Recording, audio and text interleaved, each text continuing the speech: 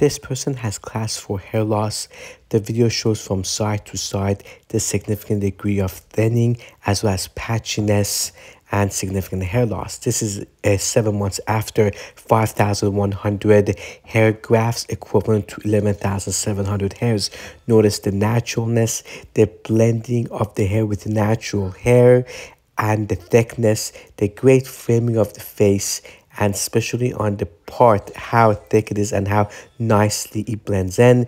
You will show the donor area and will part to demonstrate how the donor area is still consistent as if very minimal was done whereas reality over 5000 grafts was removed